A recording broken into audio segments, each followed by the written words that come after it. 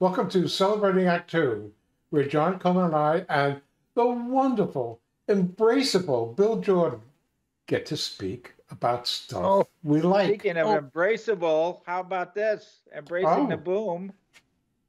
Got That's my it, guys. mug, My my my mug that's also left-handed mug. Oh. Yeah, it's amphibious. I only have the I, I have an early version that's only right-handed. But Amphibious. I have I have a I have a book that I can hold in either hand. Yeah. Look at that. That's Yeah. good.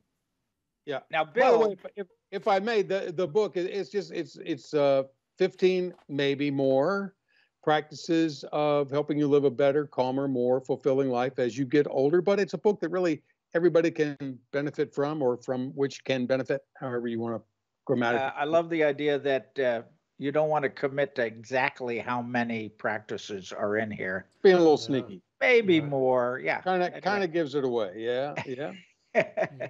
I uh, I think it's time to talk about number nine. Number nine. Number nine. Not number nine. Number nine. What is number nine? Number nine is discipline equals freedom, and it's a, and And it's a why? close. co- Why did you come up with that? Well, actually, I'm lifting it from a best-selling book by two former U.S. Navy SEALs, Jocko Willink and Leif Babin, and uh, combat veterans in the Iraq War. And uh, uh, they came out with this book. And, and when I first saw the book and heard about this notion of discipline equals freedom, it made no sense to me. None. It just says it sounds like an oxymoron. You know, discipline. If I'm disciplined, I, I'm not free. I'm tied to this, that, or the other thing, or you know, behavior. It's a close cousin of practice number eight, which is don't let what you want now overrule what you want most.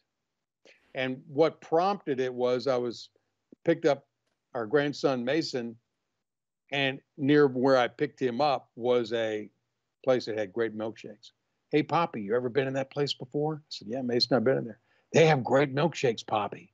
I said, I take it you want a milkshake. Yeah, I'd like a milkshake. You want a milkshake, Poppy? I said, Well, I want one, but I'm I don't think I'm gonna get one. Well, why not? They're great. I said, Well, I'm Mason, I'm trying to lose a little weight and I'm just trying to and there's this thing called uh, don't let what you want uh, now overrule what you want most. And what I want most is that I want to lose weight. So I'm taking this a little bit a step at a time. Well, he got his milkshake. I did not.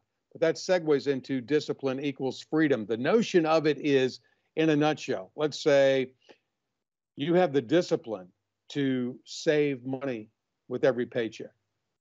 You have discipline to save that and invest that. And it may, you know, cramp your lifestyle right now, but down the road, you'll have a little nest egg and you will have the freedom to maybe knock off some of those bucket list items that you've been thinking about and dreaming about for your whole life.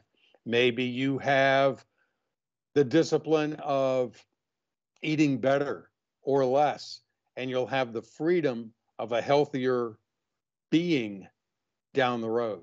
See where I'm going with this? Yeah. uh, or or physicality. If I have the discipline of doing, even if it's 25 push-ups a day for four days out of the week, and I only say that because it makes the math easier. That's 100 push-ups a week. That's 400 a month. That's 4,800 push-ups a year.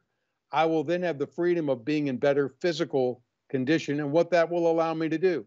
So that's the connection.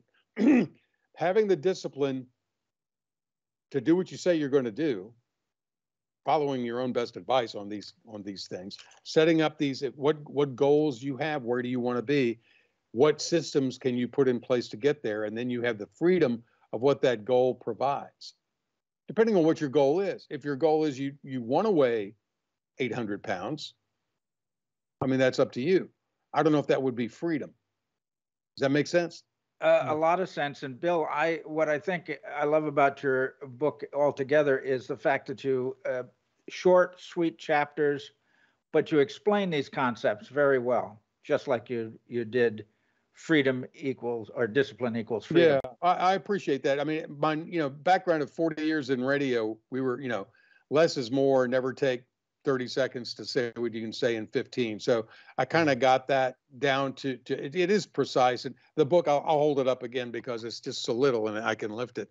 Uh, it's 15 practices, and I just I just gave it to a friend of mine a couple of weeks ago, and he shot me a text later on that evening, and he said the beauty of this is what he had heard about before in some of the reviews that it's gotten on on Amazon. It's not necessarily a book you sit down and read cover to cover. It's a book that today, maybe Monday, you start on practice number right. one.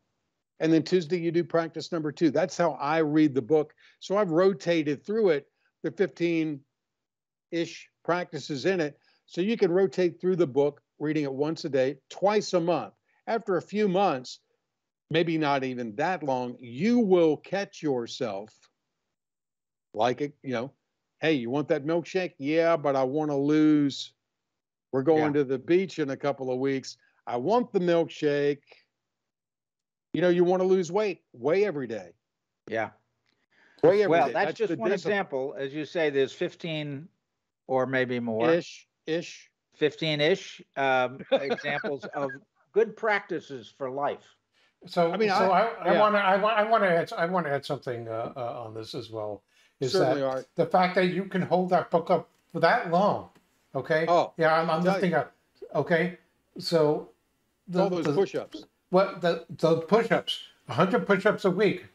Oh, only four days. Okay, and you're able to hold that. Look how long you're holding that book up. Look at the strength that you've gotten from that. It, Just practice nine. Yeah, I yeah. Uh, by the way, uh, I think John was looking at the very beginning when he was talking about his cup that mine is only, you know, uh, the right-handed cup. He has an ambidextrous cup, and it's this is an ambi ambidextrous book. Yeah, kind of. Okay, Li- literally, look at this. Either hand equally. That's it. Well, anyway, I hope you'll uh, embrace, as we say, the notion of discipline equals freedom. And by the way, not only my book, but read that book by Jocko Willink and, and Leif Babin, Discipline Equals Freedom, and many more examples of how that will pay off if we have just a little bit of self discipline. You know, again, there is pain. We have the pain of discipline or the pain of regret. Mm-hmm. You choose, and we choose, and let's choose wisely. Great advice. Bill, thank you. And Thank you for helping us all embrace our age and enjoy life. That's it. Live your life, forget your age, and embrace the boom. For more on Celebrating Act Two, visit our webpage, follow us on Facebook, subscribe to us on YouTube, and tell your friends. Celebrating Act Two is the user manual for the second half of your life.